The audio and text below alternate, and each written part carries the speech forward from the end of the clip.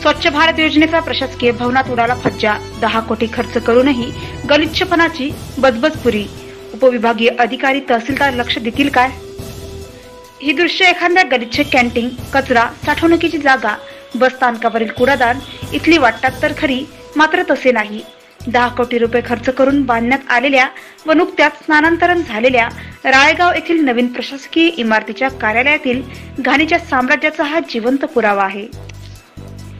पाण्याच्या पिचकाऱ्या मारून रंगवलेल्या भिंती पाण्याच्या खाली बॉटल खऱ्याच्या पन्न्या घाण पाणी प्रचंड धूळ यामुळे प्रशासकीय कार्यालयात खाणीचे साम्राज्य माजले आहे.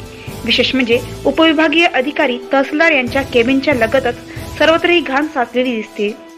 सर्व विभागाचे कार्यालय या ठिकाणी असल्याने शासकीय कामाकरता नागरिकांची मोठ्या प्रमाणात गर्दी या कार्यालयात असते.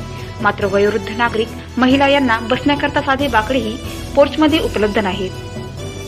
शौचालय मुतारी आहेत पण घाण वासाने त्यात जावे वाटत नाही. अवघ्या एका महिन्यात या सुंदर वास्तूला अवकाळ आल्याचे दुर्दैवी चित्र या भव्य इमारतीत प्रवेश केला की नजरेस येते. शासनाच्या स्वच्छ भारत अभियानाचा केर कचरा करण्याचा शुभारंभ याच कार्यालयातून व्हावा हा दैव दुर्विलासच म्हणावा लागेल. अपवाद वगळता प्रशासनातील अधिकाऱ्यांना कार्यरत ठिकाण व कार्यरत गाव आपले वाटत नाही. त्यांची मुलं इथं शिकत नसतात त्यांचे कुटुंब या गावी नसते. यवतमाळ जिल्ह्यात सेवा म्हणजे सजा अशी ही अनेकांची भावना असते. यामुळे ही बदलून जायची आहे आहे तसेच चालू द्या. हा दृष्टिकोन विकसित होतो. व त्यातून असा बकालपणा निर्माण होतो. शासनाने दहा कोटीची सुंदर प्रशासकीय इमारत दिली अजून काय करायला हवे?